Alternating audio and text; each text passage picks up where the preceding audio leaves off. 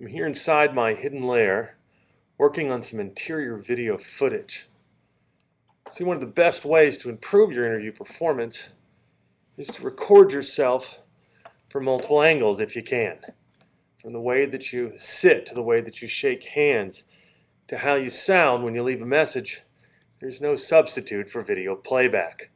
I'd suggest leaving 30 messages to fake recruiters and managers, then settling on a standard message to use. In fact, call all of your phone voicemails to make sure that you do a good job and don't have anything silly like your kids in the background. Call from uh, outside lines if you can to see what you sound like and record yourself in a fake interview. Practice sitting down and look at how you look when you walk into a room. It just may lead you to the job that you're seeking. And the blue wire goes